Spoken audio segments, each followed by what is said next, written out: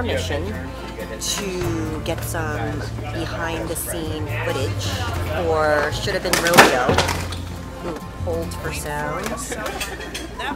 Directed by Marc Bennett. Written by Paul Ben-Victor. Um, you said hi to Sarah, right? And we just shot a scene, me and Sarah. What are we wearing? So this is oh, Sarah's outfit. Rockstar! Rockstar! And, and that's Alex.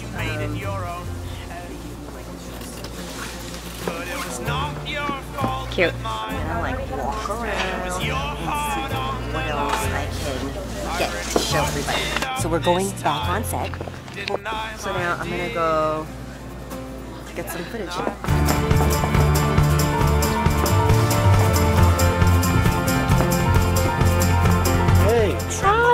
Hi, Bloggy.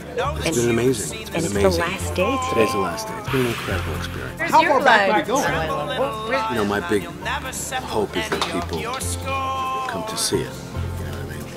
And that it does well. Flat live. No, guys, this is the opening of the movie. There's a, a steady cam shot that starts all the way back there and winds. Good spirit. Um, amazing cast. Carol Kane and Ed Asner, Ralph Natasha Henstridge, Uncle Hammer. Gotta be like number eight. He's pausing. That pause is open the other one. Yeah, everything else Sarah. And of course there's the boom. Oh, that was our craft services right there if you can't see, but we had a lot of amazing food. We had, uh, what did we have? We had some yellow beans, broccolini, um, raspberry chicken breast, Mashed potatoes, mashed potatoes. chocolate volcano cake, brownies. So, I mean, look how huge this slot is. Is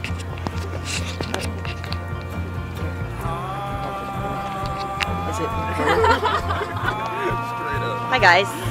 Hey, how's Hey. Hi, hi, hi. So are we gonna get this done right now so we can go home or what? Yeah.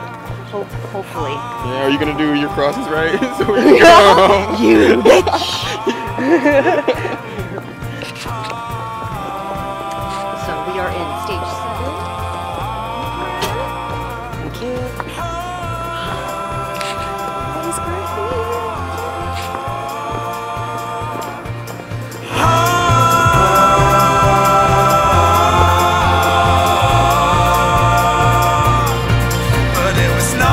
Your fault, but mine.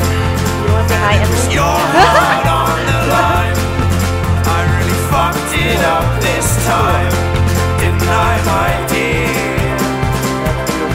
But it was not your fault, but mine. And it was your heart on the line.